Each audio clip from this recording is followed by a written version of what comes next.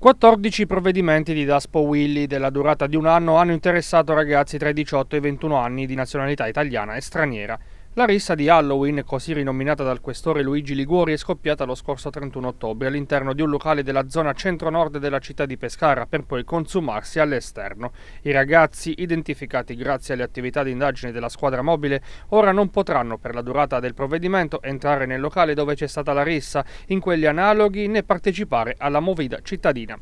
Il fenomeno delle liti però non riguarda solo maggiorenni, infatti dall'autunno scorso questi sono fatti piuttosto consueti, soprattutto nel territorio tra le città di Montesilvano e Pescara. È un fenomeno che al momento non è preoccupante ma desta attenzione perché abbiamo avuto diverse risse nel capoluogo, eh, risse che in questo caso hanno dato origine a questi 14 DASPO eh, si trattava di un, di un, locale pubblico dove è iniziata questa rissa e poi è stata proseguita all'esterno del locale. Abbiamo colto l'occasione per parlare di questo fenomeno delle, delle, liti, delle liti, a volte o eh, poi alla fine eh, scaturiscono in vere e proprie risse tra soggetti che in questo caso riguardano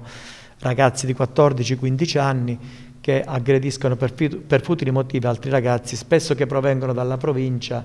eh, oppure che provengono da, da, altre province. Soprattutto per i minorenni le liti si consumano nelle ore pomeridiane, per questo la polizia ha intensificato il servizio di prevenzione e di controllo su ragazzi che nel weekend affollano la città. Questi ragazzi, considerata la giovanissima età, escono intorno alle 16 del pomeriggio per far rientro entro le 22 e proprio queste risse avvengono nel, nel tardo pomeriggio, quindi le famiglie devono avere un livello di attenzione perché anche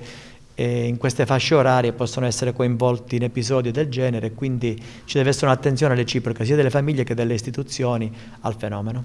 Infine, un monito da parte del questore anche ai gestori dei locali. La somministrazione di bevande alcoliche ai minorenni è vietata e quindi tutti i locali, tranne pochissime eccezioni, rispettano il divieto. A volte ehm, qualche utente eh, cerca la somministrazione camuffata tramite sostanze alcoliche all'interno di bevande analcoliche, ma l'attenzione è alta e la stragrande maggioranza dei gestori rispettano le normative.